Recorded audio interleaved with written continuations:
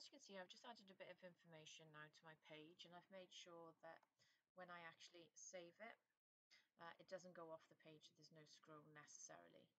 Now I'm finding the text uh, font style a bit boring. So what we are going to do is we're going to uh, create a new CSS rule. So you can see under in the properties, we've got two tabs and what I want you to do is click the CSS one. We are going to create a new rule. So just have a look what font or font style that you're happy with. And this is for my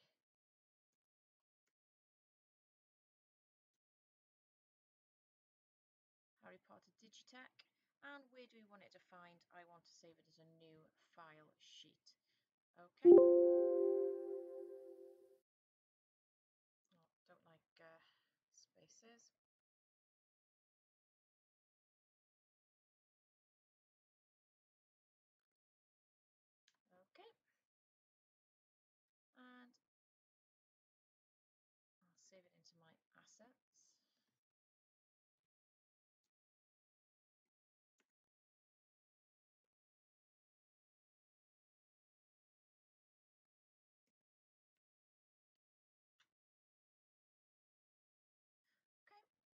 Now when I add text onto another page, okay, so if we go onto a different page now, we insert table just to help the formatting.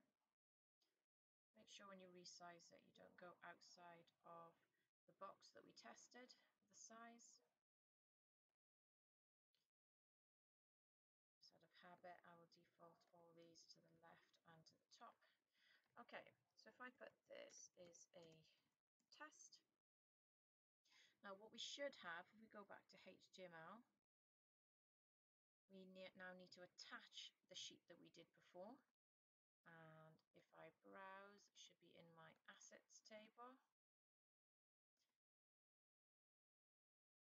So now if I highlight it, I should have the same font. So once you've done it on um, the page, you can just set that text for every single page.